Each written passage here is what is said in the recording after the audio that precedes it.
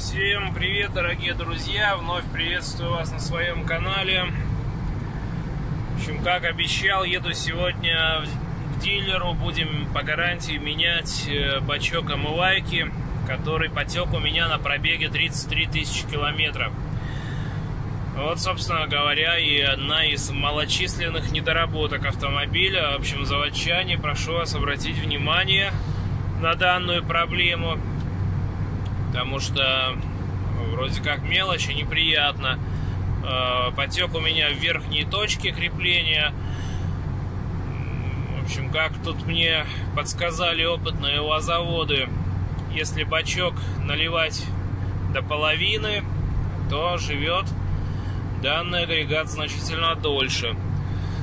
Но уж коль э, такой объемный стоит бачок, ну грех его до горловины-то не залить. Поэтому надо с этим что-то делать.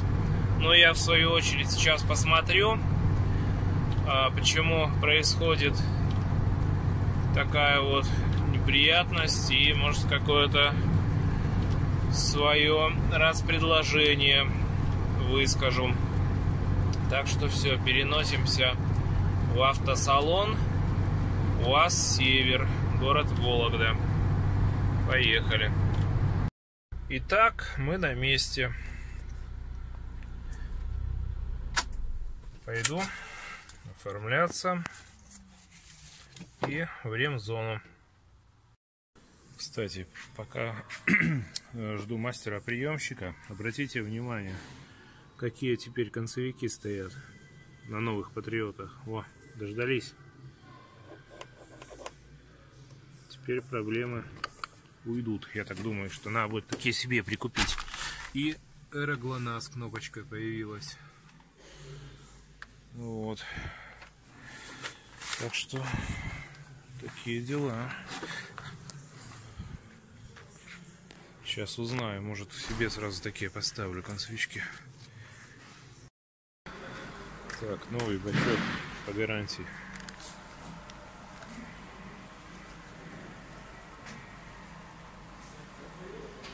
Двигателями.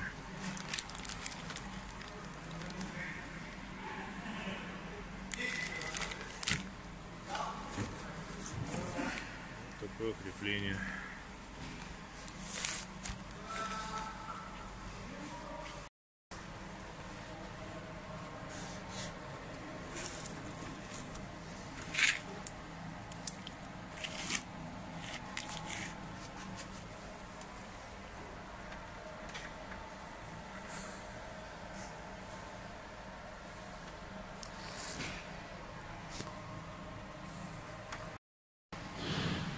Общем, короче, протерла его вот там вот, в самом, в самом углу. Посмотрю, что можно сделать потом.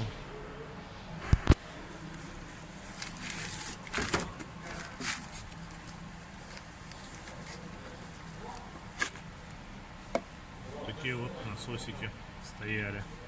Ну и сейчас такие же стоят.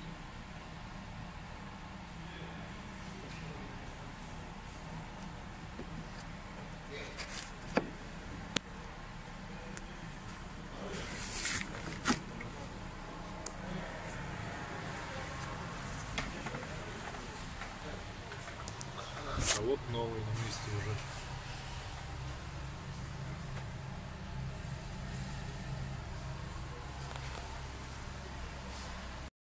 А еще, ребята, умер первый датчик кислорода.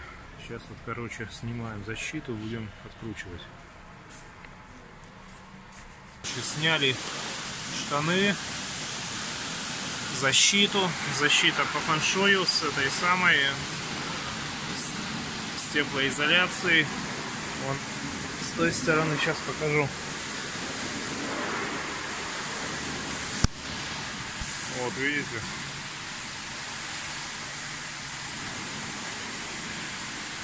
Сейчас ждем датчик и поменяем его. Такая вот неприятность вылезла на пробеге 33 тысячи ехал сейчас, загорелся чек, короче. как раз один к одному все совпало. Вот датчик Бошевский стоит здесь, кстати говоря, румынский. Сейчас вот привезут новый. В случае не гарантийный, придется заплатить. Так, пользуясь случаем, покажу вам.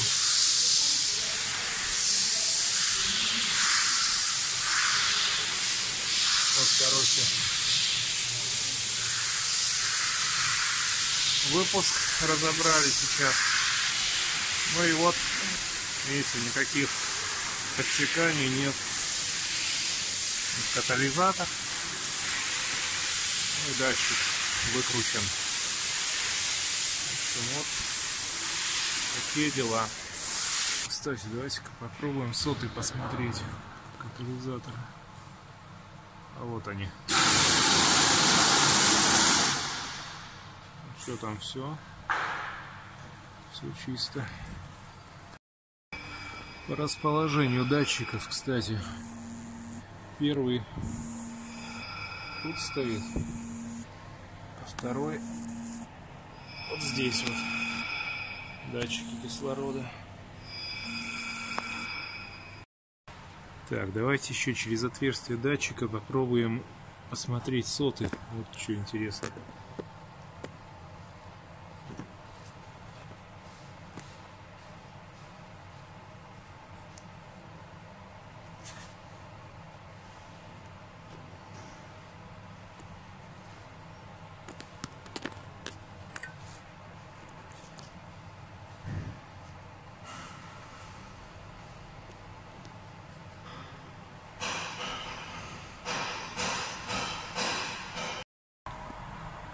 Ну вот, катализатор в отличном состоянии. Пробег 33 500 километров.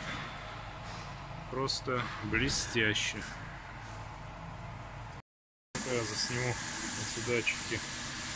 Это старый у нас был. Вот такой вот.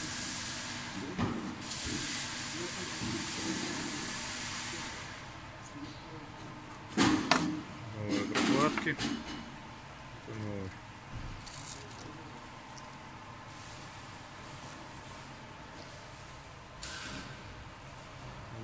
аналогично. Так. В общем, ребят, удовольствие по замене датчика вот на такую сумму у нас вышло. Но бачок по гарантии. Бачок новый теперь с насосами с новыми. Такие вот дела. Так, сейчас мне машинку пригонят, и я поеду. Все, поехал. В общем, вот старые запчасти. Там две прокладки и лямда валяется. Так, сейчас по делам, потом расскажу, что к чему. О, стоит у меня выгуливается на пастбище. Так. Развезло сюда уже, никто не лезет.